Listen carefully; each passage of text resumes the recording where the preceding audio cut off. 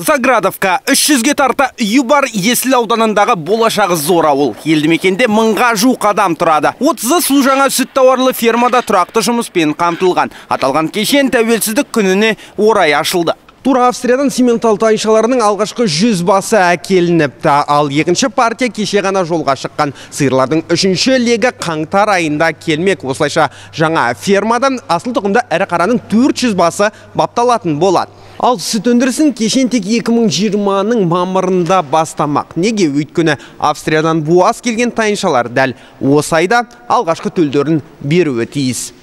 Сондықтан сау қондырғысы да әлі орнатылмапты. Негізі жылына ферма 2,5-3 мың тонна ақ өндіруді меже етіп отыр. Бұл әзірге Есіл ауданындағы мұндай жалғыз ірі кешен. Аграрий Иван Фисенко оның құрылысы мен тайыншаларды сатып алуға 1 миллиард 200 миллион теңге жұмсаған. Из них 450 450 миллион теңгені аграрлық несие корпорациясы кредитке берді. Оған мал алдым. Құрылысқа жұмсалған қалған 800 миллион шаруашылықтың өз қаражаты. Мемлекеттен шамамен 600 миллион теңге субсидия аламыз деп жоспарлап отырмыз. Облыста осы жылы жұмысын бастаған үшінші кешен бұл ал келер жылы тағы он шақтысын саламыз дейді Құмар Ақсақалов. Сөзінше мұндай сүт тауарлы фермаларда ақтың сапасы жоғары болады, ал бұл аса маңызды фактор. Тек қана мынау заманауи фермада ә, сапалы өнім шығаруға болады. Өйткені ә, жеке шаруашылықтарда ол ол жерде ә, технология көптен бері сақталмайды сақталмайды. Сондықтан ол жерде де біраз проблемаларымыз бар. Тек қана осындай фермалардың сапасы болады. Бұл фермаға салынған қаражаттың екі жарым жылдан кейін үш жылдан кейін қайтаруға болады.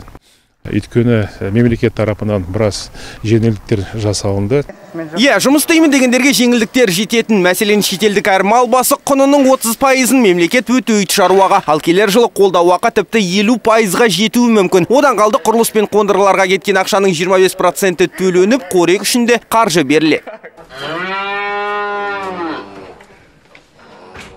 Солтүстік Қазақстан облысы қазір өзін өзі сүтпен артығымен қамтып отыр. Адам басына шаққанда бақандай бір тонна ақ өндіріледі өңірде. Бұл қажеттіліктен 10 есеге көп, сондықтан өнімнің басым бөлігі ішкі сыртқы нарықтарға экспортталып жатыр. сұраныс өте көп солтүстіктің өнімі ол сапалы және таза таза ә, деген ә, бір пікір көптен бері қалыптасып отыр ол дұрыс өйткені еш нәрсені анау химия заттарды еш нәрсені пайдаланбайды бұл жерде ә, бүткіл өнім табиғи таза Заградовкада екі ірі аграрий еңбек етеді. Екеуінің де туған ауылының жағдайын жақсартып жатқан жайы бар. Шаруалардың бірі Юрий Шоль селоның ескі клубын жөндеп, мәдени демалыс орталығын ашып отыр. Ауылдықтар тынығатын орынды баяғыдан сұрап жүрсе керек. Дәмхана, балаларға арналған ойын автоматтары, шағын қонақ үй, тіпті бильярд залы бар мұнда.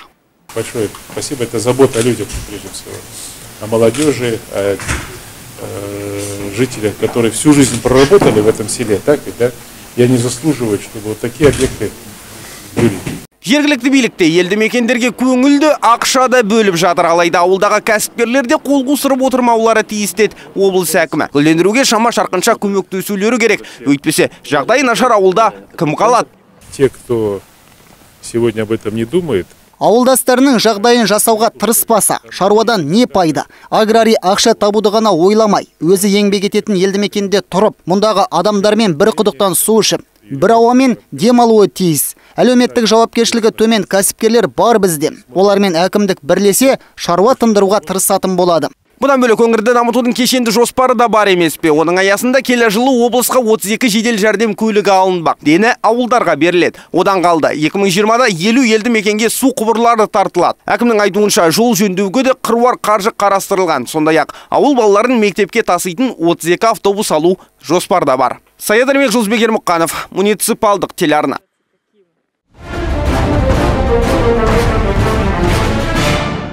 Олар отқа да суға да түседі. Қыстың қытымыр аязы мен жаздағы аптап ыстықта да адамдарды құтқару үшін өз өмірлерін қатерге тігуге дайын. Қауіпті де жауапкершілігі мол қызмет иелері жылына жүздеген адамның өмірін өлім аузынан арашалап қалады. С начала 2019 года Жыл басынан бері өңірлік төтенше жағдайлар департаментінің мамандары 2000-нан аса апаттық құтқару жұмысына шықты. Олар 200 адамды құтқарып, қауіпті аймақтан 1800 тұрғынды эвакуациялады. Сіздердің адалды, абыройлы қызметтеріңіз үшін алғысымды білдіремін. Баршаңызды тәуелсіздік мерекесімен құттықтаймын. Бүгінгі жиында сол қайсар жандар ерекше қошеметке бөленді. Оларға қазақстан республикасының ішкі істер министрлігінің атынан арнайы атақ дәреже мен медальдар табыс етілді. Ал ұлттық ұлан әскери институты бірінші оқу взводының командирі мағжан қалықовқа екінші дәрежелі ұлттық ұлан қызметінің үздігі атты төсбелгі мен төтенше жағдайлар департаменті бастығының атынан алғыс хат табысталды. Азамат қараша айының 15 күні есіл ауданында отқа оранған үйдің ішінен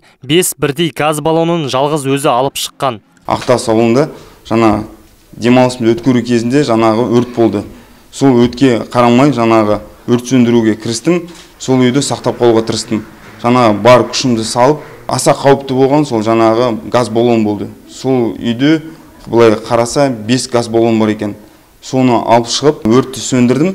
Бұл әр азаматтың міндеті қазақстан республикасының азаматы жаңа қандай да жағдай болмасын көмек көрсету керекпіз бірін бірімізге батылдық қиындықтан қорықпау. Бұл владимир воробьевтің өмірлік ұраны. Мамлют ауданының тұрғыны осыдан бір ай бұрын қос адамның өмірін өлімнен аман алып қалды. Бүгін оған және жарына қазақстан республикасы ішкі істер министрлігінің атынан суға батқандарды құтқарғаны үшін медалі табысталды. Я услышал крик о помощи. Көшеде кетіп бара жатып көмекке шақырып жатқан дауыс естідім. Анықтап қарасам екі мектеп оқушысы суға батып бара жатыр екен. Жүгіріп бардым. Жағаларынан ұстап алып жағаға қарай сүйреп шығардым. Артымнан әйелім келе жатыр екен. Балалар қатты тонып қалыпты. Оларды жылдам үйге алып кеттік. Жалпы жиында отыздан аса адам марапатталды. Шара соңы мерекелік концертке ұласты.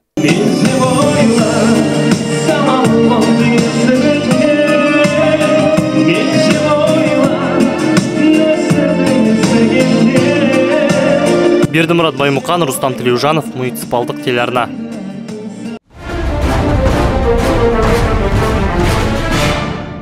Желтоқсанның 16-сы еуразияның жүрегінде талай ұлтты тал бесігінде тербетіп отырған қазақстанның тәуелсіздігі күні. Мерекені елімізді мекен еткен барша жұрт дүркірете атап өтеді. Егемендіктің 28 жылдығына орай жергілікті жұртшылық ситимол сауда ойын сауық орталығына жиылды.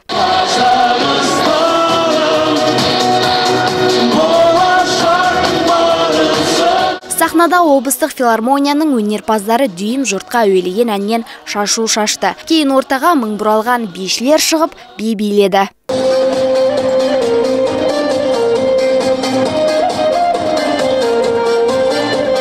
Сасор кимашева төрт баланы жалғыз өзі тәрбиелеп отыр. Бір жыл бұрын петропавлға жамбыл облысынан көшіп келіпті. Келіншек перзенттерімен бірге тәуелсіздік мерекесін дәл қызылжар өңірінде. Алғаш рет тойлауда. Өңір жұртшылығы өте мейірімді жандар. Аз уақытта көпшілігімен туыстай болып кеттік. Баршаңызды мерекемен шын жүректен құттықтаймын. Ел тәуелсіздігі күніне орай ұйымдастырылған шараға жиылған қауымның қатары қалың болды. Бүгінгі тәуелсіздік күні бәрімізге құтты болсын деймін. Еліміз жайнай берсін. Мереке құтты болсын. Еліміз аман жұртымыз тыныш болсын. Мереке өте жақсы өтіп жатыр осындай мерекелер әрқашан жарқын өтсін деймін. Айта кетейік мерекелік концерт төрт сағатқа созылды. Маржан қасымбек михаил казначеев муниципалдық телеарна.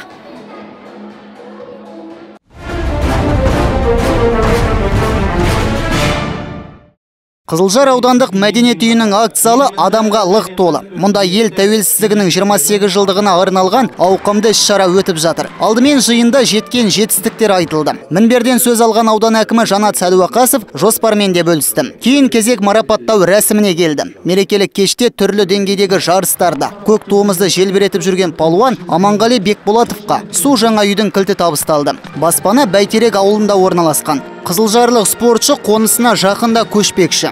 Бұйырса алдағы уақытта өзімнің отбасыммен жан жарыммен кішкентай қызым бар ақерке бұйырса солармен сол үйге көшіп ары қарай күресіп үлкен жетістіктерге жете беруге тырысамын. Тәуелсіздігімізді алғанына 28 жыл болып отыр.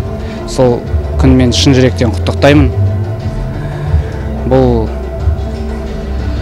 оңайлықпен келген жоқ біз бұны ұмытпау керекпіз сондықтан әр қазақтың көкейінде бұл күн есте қалуы тиіс Ал Елена Мещеркина аудан әкімінің алғыс хатына ие болды. Ол ұзақ жылдардан бері қаламыздағы өнер колледжінде студенттерге сабақ береді, әрі нәзік жанды Бескөлдегі музыка мектебінде еңбек етеді. Сонымен қатар жерлесіміз жергілікті мектептегі кітапхана қорының толығуына үлес қосып жүр. Привезла с собой 10 книг. Мен мектеп кітапханасына «Простите нас, журавушки» атты кітаптың он данасын алып келдім. Оны әкем жазған. Туындыда туған жер жайлы баяндалады. Жастар осы еңбекті оқып, елін, жерін сүйетін патриот болып өссін деймін. Мереке құтты болсын.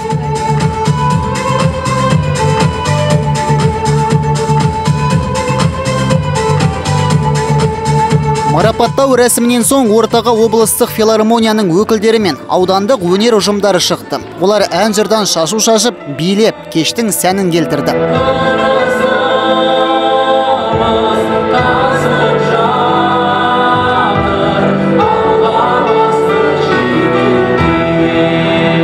Байболат бектемірұлы абай әлжанов жұлдызбек ермұқанов муниципалдық телеарна.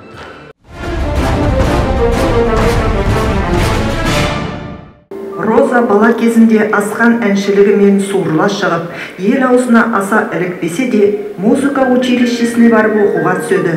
Кейін қазақтың құрманғазы атындағы консерваториясына қабылданған соң оқи жүріп бой көтеріп көркем өнерпаздар үйірмесіне үзбей қатысады. Міне осы жерде қазақтың қаршадай қызы мамандардың көзіне түседі. Ол атақты Надия Шарипова сынды ұстаздардан тәлім алып әбден ысылады. Өзінің кең диапазонды дауысын қалыптастырады. Осылайша келі сахнаға қадам жасап біраз жылдар опера жанрында ән шырқайды. Ал бертінгері жерлесіміз шәкірт тәрбиелеумен айналысады. Бұл еңбегі үнемі еленіп жүр. Бүгінде бағаланды. Мерейтой иесіне облыс әкімінің орынбасары руслан әлішев өңір жетекшісі құмар ақсақаловтың құрмет грамотасын табыс етті.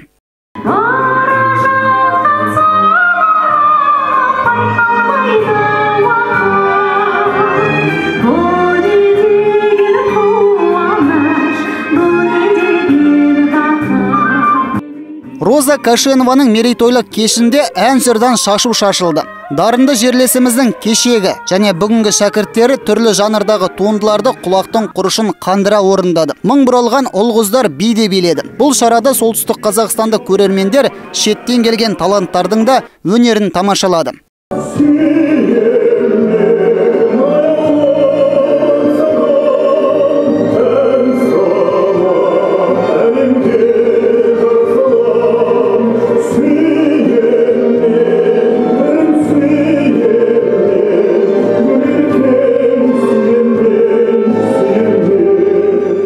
Азамат жылтыр көзов қазақ ұлттық өнер университетінің профессоры астана опера театрының шақыртылған солисі. Елордалық өнерпаз роза кашенованың шәкірттері білімді де білікті екенін атап өтті. Осы роза абдуллипқызы басқарып отырған колледжін оқып бітіріп бізге астанаға келіп оқуын жалғастырып қазір еңбек астана опера театрында еңбек істеп жатыр мемлекеттік филармонияда солист ретінде істеп жатыр ол айтып атап кететін болсақ рамзат балакишиев ол бүгін келу керек еді. Ол бішкекте бүгін травиата операсын айтып жатыр. Кеш барысында мерейтой иесінің шәкірттерімен тілдестік. Олардың барлығы бір ауыздан ұстаздарын ерекше сыйлайтындарын айтты. 2011ден бастап 2015 жылға дейін роза абуталиповнаның шәкірті болдым. Жалпы енді ұстаздық ретінде өте көп білім алдым. Өте көп тәжірибе алдым ол кісіден сондықтан роза абуталиповнада оқығаныма өте қатты қуаныштымын мақтанам әрқашанда барлығын айтып жүремін өз басым анамдай қатты сыйлаймын. Роза әбутәліп қызы тәуелсіздік күні қарсағында ұйымдастырылған концертіне зал толы көрерменнің достары мен артынан ерген ізбасарлардың келгеніне ырза болды.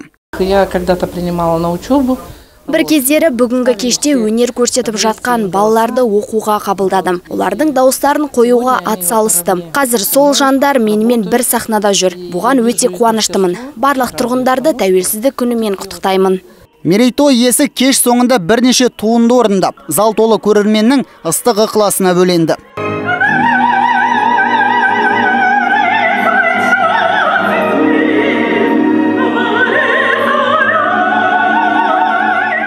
Байболат бектемірұлы михаил казначеев муниципалдық телеарна